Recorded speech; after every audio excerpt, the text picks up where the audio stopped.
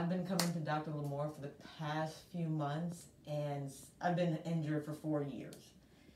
And since I've been coming to him, it's been the most relief I've had, period.